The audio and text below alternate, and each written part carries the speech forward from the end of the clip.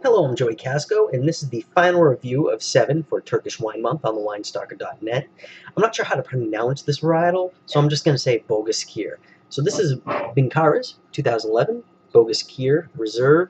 Seriously, what the hell does Vinkara do to their wine to make it so pretty? I'm not one to really appreciate the color of wine, but every single one of these has been stunning. This one is a dark ruby red with brightly illuminated edges, incredibly attractive and sexy as hell. At first, the nose has lots of licorice and oak with a little raisin, but as it opens up, it becomes brighter with fruit roll-ups, warm spearmint, and toasted almonds. In the mouth, it's medium-bodied, but your saliva is immediately sucked dry by the tannin, immediately. But that doesn't stop the flavors of red currant, black cherry, and peppercorn from coming through. It finishes with black cherry and almonds, but so dry that you think you're going to die of thirst.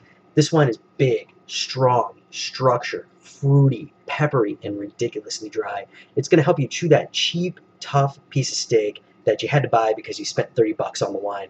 And it'll be worth every cent. Uh, it's already five years old, 2011, five years old. You could cellar it for another another five years old, make it 10 years. Um, and I bet you it's going to be phenomenal.